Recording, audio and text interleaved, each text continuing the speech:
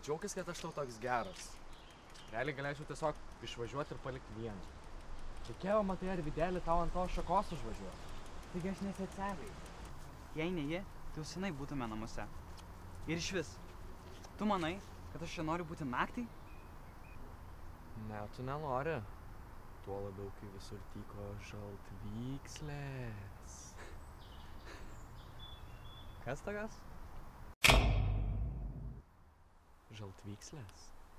Tai miško dvasios, kurios pasirodo keleiviams švieselių pavydalu ir vilioja juos.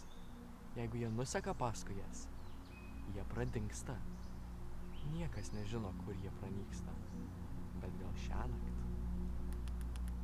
sužinosi tu. Tu gal daužtas? Tugi žinai, kaip aš greitai įsigastu. Raminkis. Čiagi vaikų pasakos. Man dėdė pasakodavo, kad aš naktimis į mišką nevaikščiočiau. Paranoikas.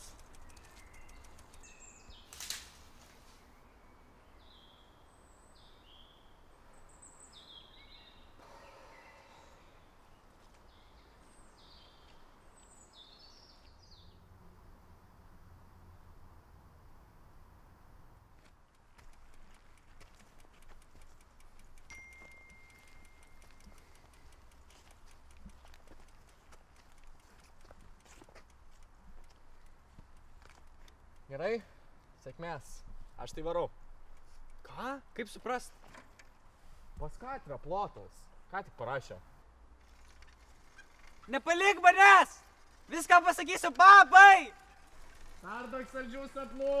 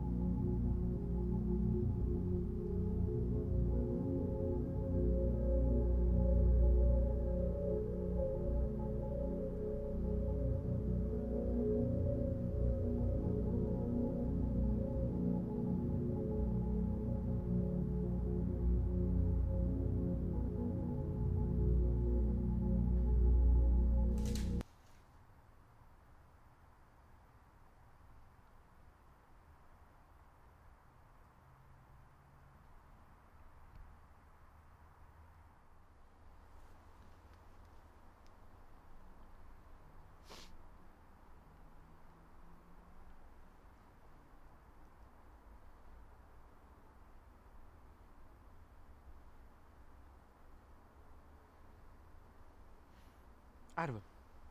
Labas. Klausyk, tu kur? O. Oh. Ok, ok, tai tu toli nenuvažiavai. Labai gerai. Um, aš... Um, tai aš atvarysiu pas tave, mes kartu grįšim. Ok? Jo, ok, ok.